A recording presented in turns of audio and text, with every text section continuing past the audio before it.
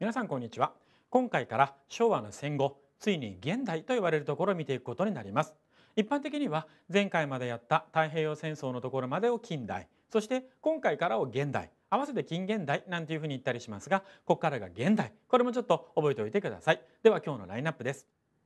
まずは一番最初東国宮成彦内閣。そして重原喜十郎内閣の五大改革指令途中までやっていくことになりますね。幸福文書に調印しそして日本の統治下極東委員会で決めたことなんかをこれ GHQ のマッカーサー連合国軍最高司令官総司令部が中心に日本に対して実行していくということ。そしてまあその実行していく際に重原喜十郎内閣に五大改革指令というのが出されてこれがさらに現実的になっていく。そのあたりをしっかり見ていきます。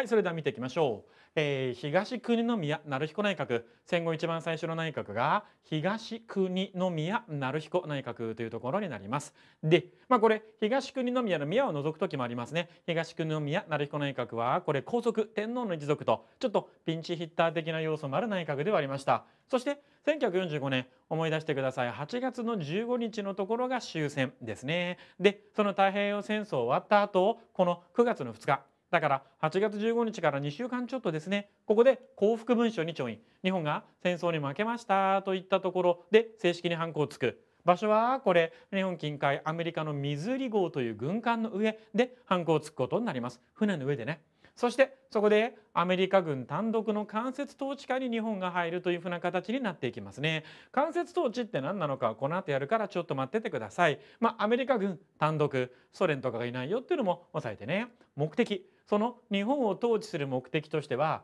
非軍事化民主化というところになります。日本を非軍事的な国そして民主的な国。じゃあ具体的に何をどうしていくかっていうところは見ていきましょう。その下です。まずは政策決定と書いてありますね。アメリカワシントンです。にある極東委員会というところで日本に対してどのような政策をっていこうとまず決めます。11カ国で構成される極東委員会で決めたものが同じくアメリカの首都だよワシントンにあるこれアメリカ政府を通じてそして日本の GHQ ですねこれが連合国軍最高司令官総司令部これを俗に GHQ、GHQ なんていうふうに言ったりしますね。ジェネラルヘッドクォーターズの略なんだけれども GHQ。ね。まあ本当は長いんだけどね。オブ・シュプリム・コマンダー・フォア・ライド・パワーズってやつの略。俗に GHQ、GHQ、そのトップがマッカーサー。そのトップがダグラス・マッカーサーもちろんアメリカ人いうことになります。そしてそのマッカーサーなんかがここ、まあ、ここからこっちが東京ということになりますけれどもね。東京ということになりますが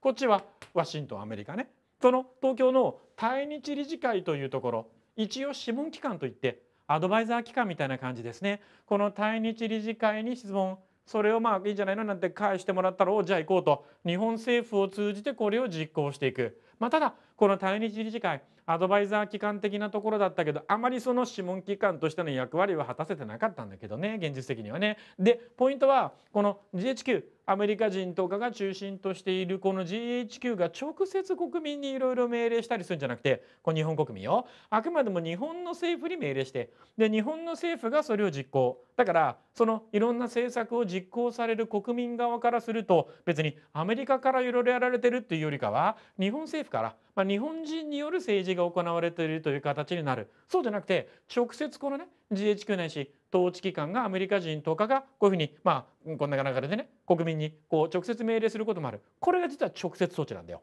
でここ日本政府が間に入っているこれを間接統治って言うんですね。その国民からするとアメリカから直接命令されてるわけではなくてより直接的には日本人日本政府からこんな形になったまとめるとアメリカ軍単独の間接統治ということ。その統治の中心は GHQ マッカーサーという人物アメリカ人ね。そしてまあポイントテストのポイントとしてはこのアメリカにある一番基本的なところを最初に決める極東委員会と日本にいる諮問機関相談とかを GHQ にね受けたりするようなこんな対日理事会とこの2つの区別がちょっと名前似てるからね。極東委員会と対日理事会ね。この2つの区別をすることが大事ということになります。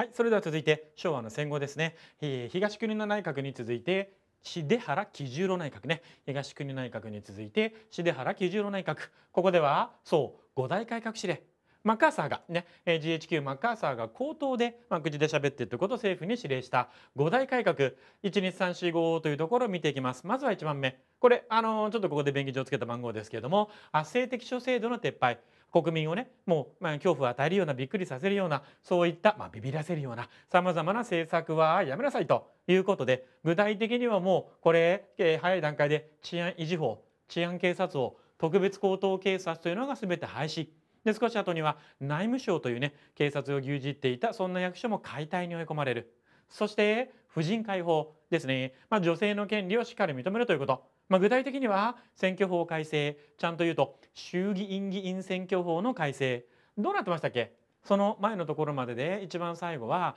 どういう人が投票権それね選挙の衆議院議員の選挙の投票できるってなってました？この前までは25歳以上の男子だった。前に明治時代に表とかがあった。そこでまとめたのをできればもう一回見てほしいんだけどその25歳以上の男子から20歳以上の男女が誰でもね投票できるというふうな形ね。20歳以上のポイントは男子だけじゃなくて男女になった。まあ、ちなみにですけど選挙権だけじゃなくて非選挙権もね立候補する権利も一緒ですね、まあ、あの年齢に関しては立候補に関しては25歳以上ですけど男女。女の人も立候補できるようになりその結果婦人参政権女の人が投票もできるしそして立候補して、えーこれね国会議員になることもできる実際39人の女性代議士がこの後の最初の総選挙でこれ誕生するということになります。3級婦人参政権ね39名の女性代議士婦人代議士代議士っていうのは衆議院議員ですけどこれが誕生です。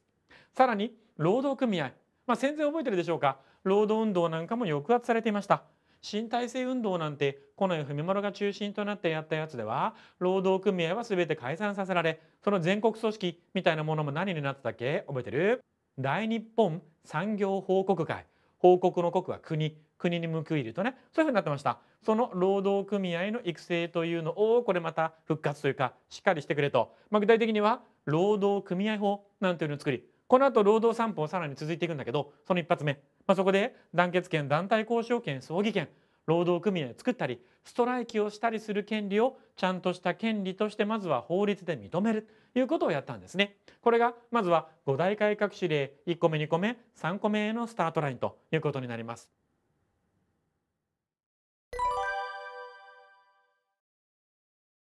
はい、そして続いて4番目5番目ですね。この5大改革指令3つの続いて4番目5番目その後を見ていきますと教育の自由化それから経済の民主化まあ、自由主義化とかマッカーサーが口頭で言ってるので細かい表現はちょっと変わることがありますからね。で1945年終身日本史地理の授業停止、まあ、終身というのは、ま、現代でいう道徳の授業ですね。まあ、結局これそれまで昭和戦前天皇のためお国のためという教育がなされていたあるいは日本史地理も軍国主義的な、まあ、日本の侵略とかを肯定するような歴史だったり地理だったりこれらはもうちょっと教科書を使ってもね新しい授業できないということでいわゆる授業停止ストップ。そして、まあ、じゃあどうすればいいんだってこれからの教育はアメリカからアメリカ教育施設団がやってきてまあこれでこの後法律作られたりとか教育関係の制度がさまざま整備されていくスタートラインとしてこんな教育の自由化。そして経済の民主化、まあ、具体的にはこの後財閥解体とか農地改革これはこの後のところでもうちょっと時間かけてかけてねお話をしようかと思いますが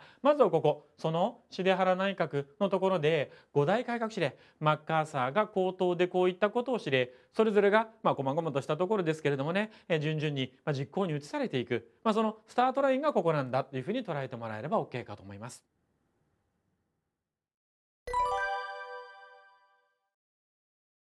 はい、それでは最後練習見ていきましょうね。東国宮成彦内閣1945年です。えー、水利五条で、えー、環状でなんとかへの調印が行われた。うん、これは9月2日幸福文書への調印。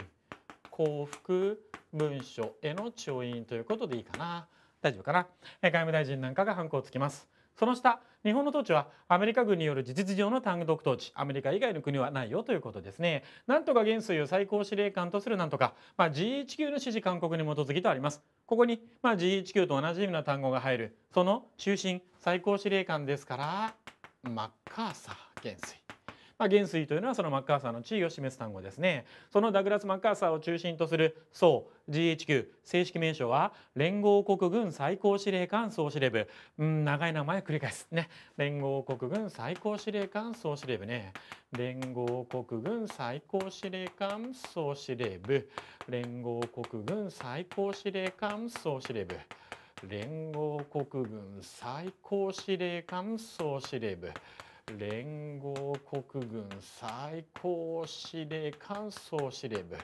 連合国軍最高司令官総司令部って何回言ったでしょうね僕ね。よいしょ。ね。まあ何回唱えられるかが勝負ね。連合国軍最高司令官総司令部ね。連合国軍最高司令官総司令部ね。これ長いの繰り返してると今までのものが楽になりますから民選議員設立の憲白書ああ短いと思いますからね。連合国軍最高司令官総司令部の、まあ、GHQ です。の指示勧告に基づき日本政府が政治を行う。要はこれ日本の統治を何とかという手法なんていうふうなところでもいけるかな。間接統治。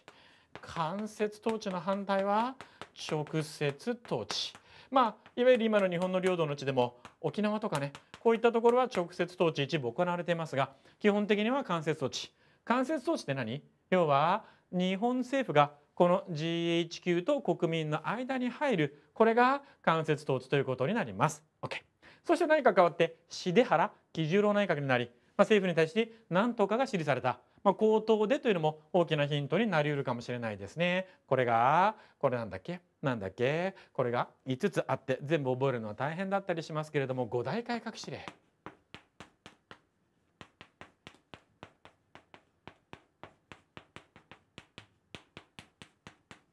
一応ねこの五大改革指令の「し」とこっちの司令官の「し」は漢字がちょっと違うからね、えー、ここは注意してください。こっちは指ですから、ね、こっちはこの司という字になります。